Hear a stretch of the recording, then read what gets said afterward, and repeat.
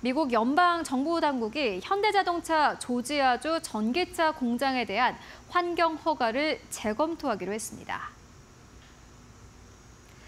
AP통신에 따르면 미국 육군 공변단은 이 현대 전기차 공장이 지역 상수도에 미치는 영향을 규제 당국이 제대로 평가하지 못했다는 환경보호 운동가들의 민원이 접수된 뒤 해당 공장 환경 허가에 대한 재평가를 하는데 동의했다고 전했습니다.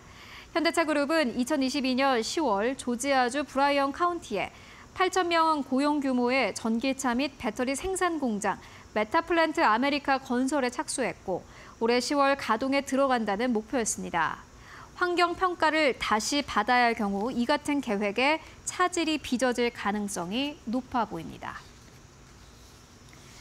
네, 현대자동차 조지아 공장 측은 성명을 내고 현대는 당사 운영이 이 지역사회 수자원에 부정적 영향을 미치지 않도록 관련 당국과 계속 협력해 왔다고 밝혔습니다.